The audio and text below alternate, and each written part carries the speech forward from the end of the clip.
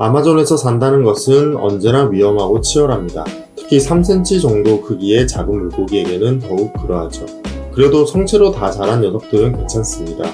작은 몸을 활용해 좁은 공간으로 숨기도 하고 재빠르게 도망칠 수 있으니까요.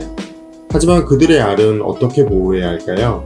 도망칠 수 없는 알은 아주 잘 숨겨야 할 텐데 여기 굉장히 독특한 방법으로 포식자들의 위협을 피하는 물고기가 있습니다.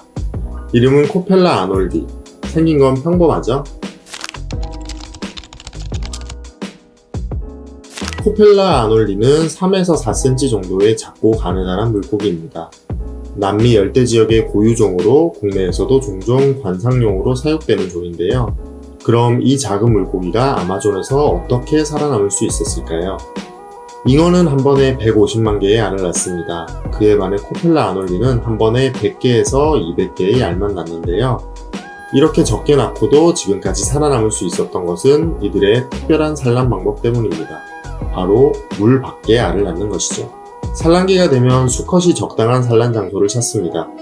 그리고 암컷을 해당 장소 근처로 데려온 후 둘은 동시에 점프하여 물 밖에 잎에 매달립니다.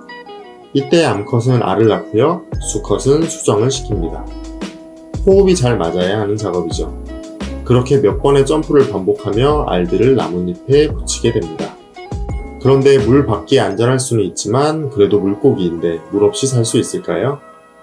코펠라 아놀리는 독특하게도 수컷 물고기가 알을 지키는 역할까지 수행합니다. 바로 알이 마르지 않게 지속적으로 물을 뿌려주는 것인데요.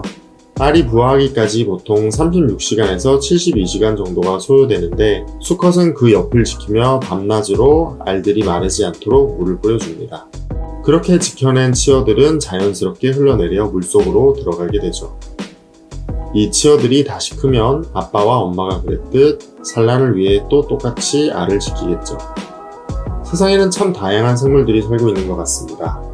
다음에도 또 흥미로운 영상으로 찾아오겠습니다. 말갈량이 보물섬이었습니다.